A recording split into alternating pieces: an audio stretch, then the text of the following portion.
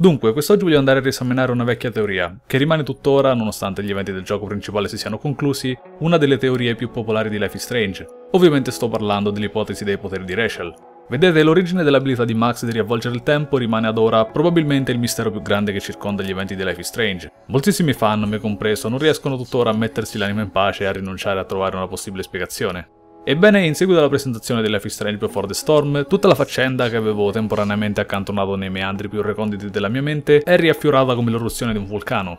E ora da diversi giorni ho questa idea che mi gira in testa e che voglio quindi condividere con voi. Ecco perché ho deciso di andare a compilare in questo video tutti i possibili indizi che ci sono stati dati fino ad ora, sia nel corso del gioco principale e adesso anche nel trailer e nel gameplay di Before the Storm, che vanno a supportare la teoria secondo cui Rachel Amber fosse dotata effettivamente degli stessi poteri di Max Caulfield, o che addirittura sia stata proprio la ragazza stessa a trasferire i poteri a Maxine in qualche modo. Inoltre dopo vi dirò anche qualche piccola teoria che ho riguardo a quello che potrebbe succedere in Before the Storm e anche qualche teoria che ho riguardo a Rachel e così via. Ok, ma iniziamo parlando prima degli indizi, come vi avevo promesso, e poi eh, passiamo alle teorie. Nel mio ultimo video caricato ho parlato di come Rachel, proprio come Chloe, fosse un amante di alcolici ed erba, ma allo stesso tempo in grado di mantenere il suo livello di eccellenza accademica e il suo status sociale allo stesso tempo. E questo è non solo l'indizio a mio avviso più significativo, ma anche il primo che ci verrà dato nel gioco. Rachel ci viene descritta come la ragazza più popolare della scuola, tutti sembrano conoscerla ed avere storie su di lei. Partecipava ai party insieme ai membri del Vortex Club, faceva skateboard con gli skater e posava come modella per i fotografi e gli artisti della Blackwell. Era un vero e proprio animale da festa, ma allo stesso tempo era anche uno degli studenti più dotati della scuola, con un GPA strabiliante di 4.0 che in America rappresenta il voto più alto raggiungibile da uno studente. Era inoltre impegnatissima con numerose attività extracurricolari e nel tempo libero riusciva anche a trovare il modo di bere e fare tranquillamente uso di droghe leggere come se nulla fosse. E come se non bastasse, svolgeva anche il ruolo di corriere della droga per Frank, con il quale aveva anche una relazione. Quindi qui abbiamo praticamente il quadro di una ragazza impossibile. Nessuna persona riuscirebbe a trovare il tempo di fare tutte queste cose. Io riesco a malapena ad allacciarmi le scarpe di mattina. A meno che non fosse per l'appunto in grado di gestire il tempo a suo piacimento. Fra l'altro sappiamo anche che David le stesse con il fiato sul collo in quanto a conoscenza del fatto che la ragazza facesse da corriere della droga per Frank, ma nonostante questo, anche tenendola sempre sotto stretto controllo, non è mai riuscito a coglierla in fragrante. E David come agente di sorveglianza non scherza affatto. La cosa non è un po' sospetta? Ogni studente della Blackwell parlerà sempre bene di Rachel ad eccezione di una sola persona, Victoria Chase, che sentendosi chiaramente glissata dalla ragazza più popolare svilupperà una sorta di sentimento che è un mix fra l'odio, l'invidia e l'ammirazione nei suoi confronti. E questa cosa non vi ricorda anche qualcun altro? Victoria svilupperà praticamente gli stessi sentimenti per Max, che grazie ai suoi poteri temporali diventerà nell'arco di solo un paio di giorni la persona più popolare della Blackwell. E se anche Rachel avesse usato lo stesso modo per raggiungere quel livello di popolarità? Spiegherebbe l'asse di Victoria nei suoi confronti. Non sembra anche a voi che qui le coincidenze siano un po' troppe? Ma ora prendiamo un attimo in esame questa scena mostrata nel gameplay delle tre, in cui Chloe viene quasi aggredita da due tizi durante il concerto di Firewalk. Poco prima del fatto sarà possibile vedere Rachel ballare tranquillamente vicino al palco, ed esattamente un secondo prima che i due attacchino Chloe, Rachel arriverà giusto in tempo per salvare la situazione. Cavolo, questo è quello che chiamo tempismo. O forse no. Ora riesaminiamo tutta la sequenza, ma per un secondo facciamo finta che la ragazza abbia effettivamente gli stessi poteri di Max. Immaginiamo lo scenario in cui i due tizi riescano effettivamente ad attaccare Chloe. La ragazza si trovava su una pedana rialzata senza ringhiere, quindi è piuttosto probabile che se due l'avessero effettivamente aggredita, Chloe sarebbe molto probabilmente potuta cadere, rimanendo gravemente ferita o addirittura uccisa. Quando vedremo Rachel arrivare in soccorso a Chloe potremo notare sul suo volto un'espressione piuttosto arrabbiata, e se la ragione per l'espressione di Rachel fosse che la ragazza ha effettivamente visto l'aggressione e la caduta di Chloe, e ovviamente essendo dotato del potere di riavvolgere il tempo, fosse stata in grado di tornare indietro e quindi di fermare due tizi prima che potessero attaccare Chloe? D'altronde, se ci fate caso, sarebbe stato impossibile per Rachel vedere o sentire Chloe discutere con i tizi al piano di sopra, per via delle luci e della musica ad alto volume, a meno che questa non fosse precipitata dall'alto attirando quindi l'attenzione della ragazza e di tutti i presenti al concerto. Quindi, in un gioco in cui i viaggi temporali esistono, quale delle due opzioni vi sembra la più probabile? Numero 1, che una ragazza che sembra dotata del potere di viaggiare nel tempo sia effettivamente dotata del potere di viaggiare nel tempo e che quindi abbia usato il suo potere per salvare una ragazza da una festa. Oppure numero 2, che una ragazza qualsiasi che fino a pochi secondi prima era impegnata a ballare abbia deciso senza nessun motivo apparente di smettere di fare tutto quello che stava facendo per recarsi al piano superiore della fabbrica e per puro caso combinarsi con Chloe appena in tempo per salvarla da due tizi che l'avrebbero attaccata? Già, Personalmente a me sembra quasi come se Rachel sapesse quello che stava per succedere. Un altro indizio interessante che supporta la mia teoria lo troveremo parlando con Evan nel primo episodio di Life is Strange. Evan infatti dirà di come Rachel fosse la sua modella preferita da fotografare in quanto la ragazza era sempre in grado di trovare immediatamente l'angolo perfetto per la sua fotocamera. Quasi come se sapesse in anticipo in che posizione e in che posa Evan voleva che si mettesse. Anche qui io sento odore di riavvolgimento del tempo. E per concludere, un ulteriore indizio interessante potrebbe addirittura essere nascosto nella sequenza mostrata nel gameplay di Before the Storm, quella in cui ci viene mostrato il repentino cambio di umore di Rachel. Ma qui ovviamente non ci sono prove che supportano questa teoria, quindi potrebbe semplicemente essere qualcosa di campato in aria. Comunque ci sono già diverse ipotesi riguardo a cosa avrebbe potuto causare il cambio di umore di Rachel, ma una delle più gettonate suggerisce che, qualora Rachel avesse effettivamente il potere di riavvolgere il tempo, la causa del suo comportamento potrebbe essere stato causato da una spiacevole interazione con Chloe, che magari la ragazza poi ha deciso di cancellare tornando indietro nel tempo.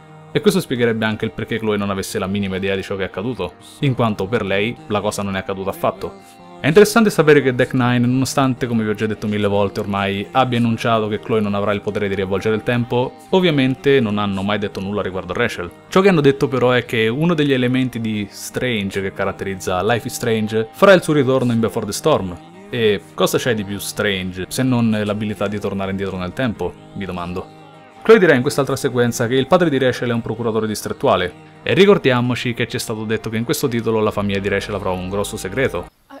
I know you're the school princess and all, with the DA daddy and the perfect grades and all the perfect little Victoria chases kissing your perfect ass. Diamo ora un'occhiata a questa coppia. L'uomo è vestito incredibilmente bene, con l'abbigliamento adatto a un avvocato o forse a un procuratore distrettuale, e vedremo che Rachel diventerà inspiegabilmente silenziosa proprio in seguito alla visione della suddetta coppia. È possibile che Rachel abbia magari involontariamente sorpreso suo padre a tradire sua madre? Chloe, che inizialmente non noterà il cambio di umore di Rachel, continuerà a fare il suo gioco e alla visione della coppia farà anche dei commenti piuttosto fuori luogo, che magari potrebbero aver causato una reazione da parte di Rachel. La ragazza potrebbe aver iniziato una lite con Chloe, che poi però magari ha deciso di cancellare tornando indietro nel tempo. Wait, you're a prostitute? But I'm a prostitute. Now who gets paid? Rachel? Questo spiegherebbe la misteriosa incongruenza con il carattere che ci viene inizialmente descritto come incredibilmente positivo di Rachel. D'altronde sorprendere il proprio padre che tradisce potrebbe far venire i 5 minuti a chiunque, e anche il perché Chloe fosse completamente all'oscuro di qualsiasi cosa fosse accaduta. Ok, per indizi questi sono i più importanti e quelli che ritengo i più plausibili. Ora invece vi avevo anche promesso altre teorie, quindi eccovi serviti. Queste saranno fra l'altro, come vi ho già detto, teorie che hanno a che fare con Rachel e con la sua possibile abilità di riavvolgere il tempo, quindi si resta sempre in tema. Ma ora, allacciatevi le cinture perché qui la situazione diventerà piuttosto folle. Ormai mi conoscete. Ok, ma partiamo dall'inizio. E con inizio intendo il vero inizio. Ah, sempre voluto dire questa frase. Nella sequenza introduttiva di Life is Strange ci verrà presentata per la prima volta la visione di Max, un enorme tornado che si dirige verso Arcadia Bay. Ora, è importante notare come Max avrà questa visione ancora prima di assistere all'omicidio di Chloe, e quindi ancora prima di scoprire per la prima volta il suo potere. Nel finale del gioco ci viene suggerito che il tornado sia stato causato da Max che, avendo sottratto Chloe al suo destino, ha causato una sorta di squilibrio nell'universo che, per tentare di rilenearsi, ha causato il tornado, i disastri marittimi e tutte le follie ambientali che vedremo in Life is Strange. Tuttavia ci sono molte cose che non tornano a questo punto. Per prima cosa, come mai Max avrebbe avuto una visione dell'uragano prima ancora di usare per la prima volta il suo potere? Viene quasi implicato che la tempesta fosse già in arrivo in quel preciso istante. E in secondo luogo, come mai è solo il salvataggio di Chloe a causare l'uragano? Non dimentichiamo che Max con il suo potere salverà anche Kate nel secondo episodio, che senza il suo intervento sarebbe precipitata giù dal tetto della Blackwell. Senza contare le innumerevoli altre volte in cui la ragazza rivolgerà il tempo, alterando il corso degli eventi senza nessuna apparente conseguenza. Quindi cosa sta succedendo qui? Beh, a mio avviso, come vi ho già accennato in uno scorso video, la catena di eventi che ha portato all'arrivo dell'uragano era già avviata prima che Max salvasse Chloe, e penso anche che Rachel potrebbe essere collegata alla cosa. Io credo che l'uragano non sia stato causato da Max, bensì da qualcuno che ha alterato il corso degli eventi per molto più tempo della ragazza. Pensateci bene, se basta così poco per creare un cataclisma di tali dimensioni, allora come mai il salvataggio di Kate sembra non avere alcuna ripercussione? E certo, qui qualcuno potrà ribattere dicendo Ok, ma allora come mai qualora Max decidesse di sacrificare Chloe nel finale il tornado scomparirà misteriosamente? Beh, vedete, io penso che la ragione dell'arrivo dell'uragano sia effettivamente il salvataggio di Chloe, tuttavia non da quello per mano di Max ma bensì dai continui salvataggi di Chloe da parte di Rachel, dotata anch'essa del potere di rivolgere il tempo. Sembra folle, probabilmente lo è, ma la cosa ha effettivamente senso se mi seguite, lo giuro. Di nuovo, abbiamo visto Max salvare Kate una volta, e questo sembrerà non aver avuto nessun effetto. Ma da quel che sappiamo di Chloe, beh, lei è tutta un'altra faccenda rispetto a Kate. Chloe è come una sorta di magnete per eventi mortali. Ora, magari cambiare il corso degli eventi una volta non è sufficiente a causare un cataclisma come un uragano. Magari l'universo è in grado di risincronizzarsi da solo in questo caso. Tuttavia immagino che la stessa azione, ripetuta però ancora e ancora e ancora, come ad esempio il salvataggio della stessa persona ripetuto un numero esagerato di volte, potrebbe effettivamente creare qualche sorta di squilibrio nell'universo. Come ho appena detto, Chloe sembrerà possedere l'innata abilità di attirare a sé i guai. Seriamente, fateci caso, la ragazza è praticamente un magnete per il pericolo. Prendiamo ad esempio il gameplay di Before the Storm, che cronologicamente mostra la prima apparizione di Chloe dopo la morte di William. La prima cosa che ci verrà mostrata è letteralmente la ragazza che viene quasi travolta da un treno, e quasi immediatamente dopo la vedremo inguagliarsi con un venditore di magliette e venire quasi sfregiata da due tizi loschi al concerto di Firewalk. In seguito, negli eventi di Life is Strange, vedremo Chloe venire uccisa da Nathan, poi la vedremo spararsi da sola con la sua stessa pistola, uccisa di nuovo da Jefferson, essere quasi accoltellata da Frank, quasi aggredita nuovamente da Nathan armato di pistola. Insomma, Chloe sembra essere in costante equilibrio fra la vita e la morte. E a questo punto mi dispiace dirlo, ma come diamine ha fatto a sopravvivere per tutti questi anni? L'unica cosa che mi viene in mente è che prima ancora di Max ci fosse qualcun altro che le guardasse le spalle, una sorta di angelo custode, se vogliamo. Angelo, termine usato fra l'altro dalla stessa Chloe per descrivere Rachel. Wow. Yeah, I put them up. She was my angel. Ci tengo inoltre a farvi notare che Chloe, da quello che ci viene detto nel primo titolo, non abbia mai avuto grossi problemi nel periodo in cui Rachel era viva. Mentre invece, guarda caso, non appena la ragazza scompare, Chloe verrà rapita e drogata da Nathan, inizierà ad avere problemi con Frank e verrà infine addirittura uccisa. Quasi come se con la scomparsa di Rachel fosse anche scomparsa la forza che la teneva al sicuro e lontana dai guai. Sappiamo che Chloe e Rachel siano state inseparabili per tre anni. E ora immaginate in quei tre anni quanti faccia a faccia con la morte Chloe potrebbe aver avuto. Ora, questo mi sembra un numero di riavvolgimenti temporali abbastanza alto da creare una sorta di sbilanciamento dell'universo. Quindi, qualora Max deciderà di sacrificare Chloe alla fine del quinto episodio, permetterà finalmente all'universo di compiere il destino di Chloe e quindi di riprendere il suo ritmo regolare, fermando perciò la tempesta. Questa è l'unica spiegazione che sembra avere senso per me, Altrimenti perché il salvataggio di Kate nel secondo episodio e gli altri cambiamenti temporali fatti da Max non dovrebbero avere alcuna conseguenza? Perché non penso siano cambiamenti tanto grandi da causare una sorta di sbilanciamento nel continuum spazio-temporale. Mentre invece salvare Chloe per tre anni di fila prima dell'arrivo di Max eh, è possibile caso di uragano se devo dirlo. E l'unica persona che penso sarebbe stato in grado di fare una cosa del genere prima di Max è Rachel Amber, in quanto anch'essa dotata di poteri temporali, anche soprannominati da me poteri evitiamo che Chloe muoia nei modi più orribili. C'è inoltre da ricordare che il finale di Life is Strange non è esattamente il finale completo che Dontnod aveva inizialmente immaginato per il titolo. A causa delle limitazioni di budget e tempo, nel primo gioco diverse informazioni e dialoghi interessanti sono stati tagliati dal prodotto finito, e fra i più importanti abbiamo diverse frasi dette da Nathan che parla di come sia a conoscenza del fatto che il tornado sta arrivando e di come dica che suo padre sta arrivando, quindi tutti i personaggi sono finiti. The storm, storm is still coming! And you, you're all dead! You're all dead, you hear me? Dead! Oh! Why are y'all looking at me like that, huh? You and you, you're all dead! Plus, my dad is on his way. You're all fucked. He owns you! Everybody's waiting for the storm. Everybody wants to hurt me.